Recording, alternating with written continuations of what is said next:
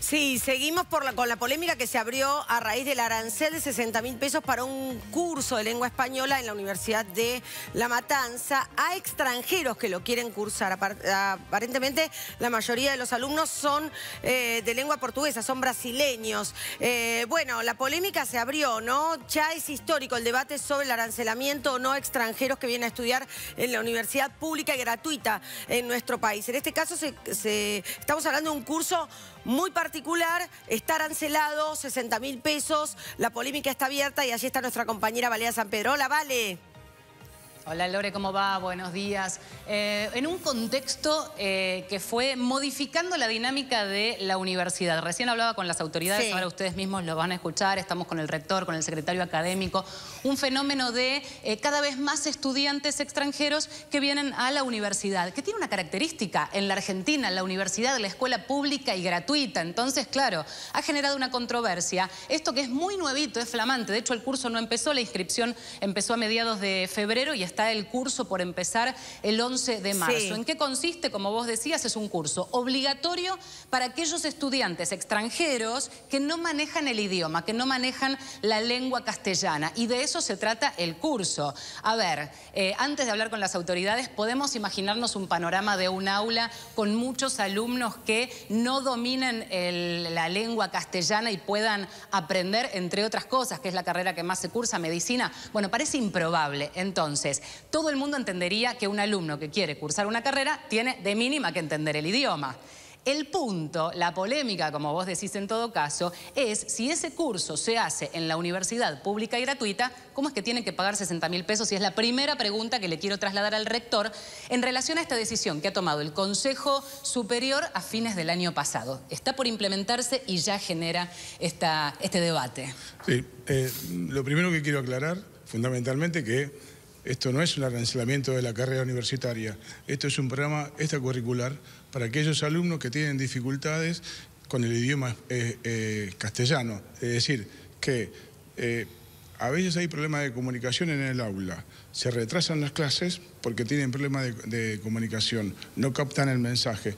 Y también se produce otro problema más, que a los profesores les resulta muy difícil tratar de entender qué es lo que escribieron. Entonces acá llegamos a la disyuntiva. O estudian español o castellano los que vienen de afuera a estudiar acá, o estudian los profesores portuñol. Me parece que lo más justo es que estudie los estudiantes que vienen y no conocen el idioma.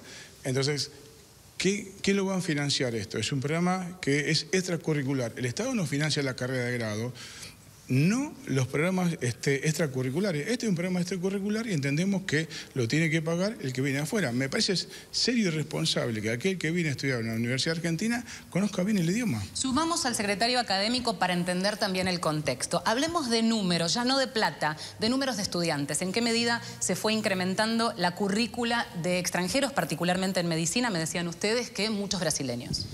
Sí, a partir de mm, la oferta de la carrera de medicina en nuestra universidad a partir del año 2011, hemos verificado que año tras año se duplica la cantidad de aspirantes provenientes del, país este, vecino de Brasil, fundamentalmente porque hay un problema de origen en Brasil que es muy difícil estudiar medicina, o sea, hay cupos en Brasil, las carreras son muy costosas, y los estudiantes brasileños ven a nuestro país como una opción. ¿Cuál es la matrícula que hoy tienen en números? Nosotros el año pasado tuvimos una inscripción de 500 aspirantes a la carrera de medicina que es aproximadamente un 25, un 30% de la cantidad de aspirantes totales que tuvimos el año pasado. Me hablaban de 1.500 alumnos argentinos y otros 500 que se han matriculado para estudiar este año. ¿Ya hay inscripciones? ¿Están este, inscribiéndose para hacer este curso? ¿Es obligatorio para aquellos que no manejan el idioma?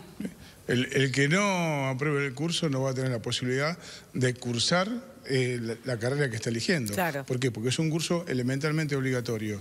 Y, nosotros eh, no podemos eh, atender eh, los problemas que tiene Brasil en su educación superior porque solamente entra el 1%. Entonces el resto viene y, viene a la Argentina a tratar de cursar. Le pedimos que sepan como mínimo el idioma castellano. Hoy hablábamos con eh, estudiantes autoconvocados que de alguna manera están rechazando esta medida y lo que hablaban es que es un arancelamiento encubierto de la educación gratuita. Entonces, bueno, ¿qué tienen para decir al respecto de este planteo? Bueno, este, esta, primero, eh, es, no es cierto. Básicamente no es cierto porque no es un arancelamiento de la carrera.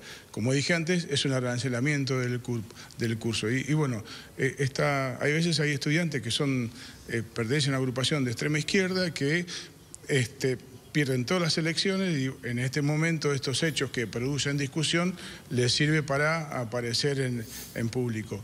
La verdad que la gran mayoría de los estudiantes está de acuerdo con esta medida, los hemos consultado, hemos consultado al centro de estudiantes y me parece razonable. Si uno va a Estados Unidos, tiene que saber el idioma inglés, si uno va a Europa, tiene que saber el idioma donde va. Es más, nosotros que miramos muchas veces a Europa, en Italia, hay que, cuando uno entrega el título, tiene que saber historia italiana. A ver, eh, Lore, ellos ya están conectados, me gustaría hacer una pregunta más y, después en todo caso si tienen alguna otra duda, porque es cierto que van generándose muchas preguntas, pero hay algo que conversábamos antes, si me permiten una pregunta más, que es la siguiente, porque Claramente el sistema educativo en cada país es distinto, ya lo hemos hablado históricamente, este debate de la universidad pública, de la escuela pública, de los arancelamientos, eh, se ha debatido y mucho. El punto que conversábamos es el siguiente, como arrancábamos el móvil, no se puede venir a estudiar no entendiendo al profesor, no entendiendo el material que tenés que leer. La pregunta es, ¿no se puede hacer un examen de ingreso nivelatorio del el idioma. Entonces,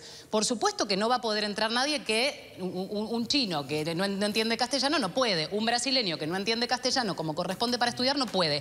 Pero que él se procure, esa persona se procure aprender o porque tiene residencia de muchos años y lo aprende naturalmente, o porque hace un curso pago, o por lo que sea, pero por fuera de la universidad, para no eh, generar este enfrentamiento del espíritu de la universidad pública y gratuita y no tener que arancelar ustedes este curso.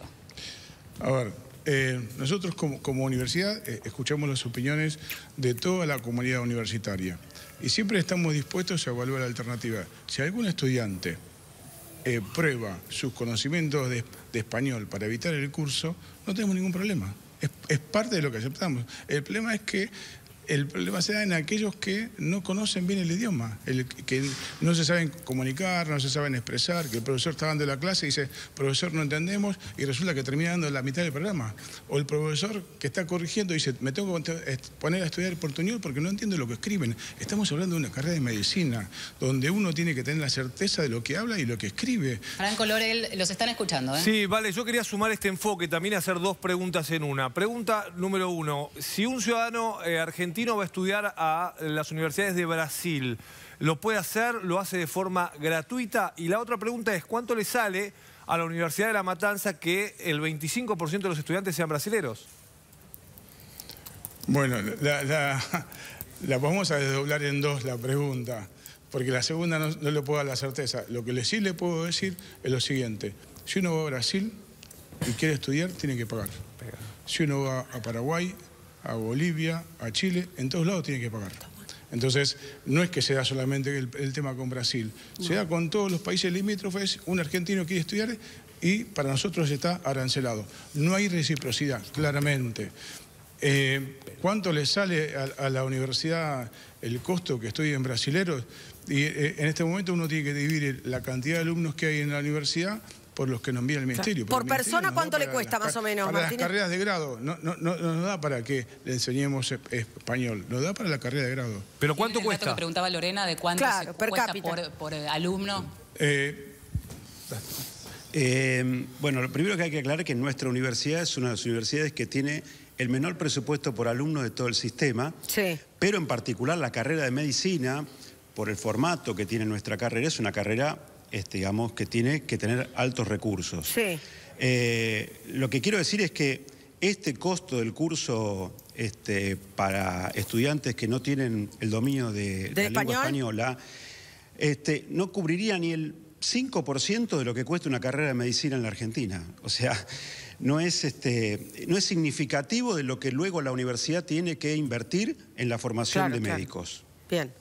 Bien, vale, vamos a seguir con este tema. Muchísimas gracias a vos y obviamente eh, a los ambos rectores y, titulares eh, allí en la Universidad de La Matanza. Muchas gracias.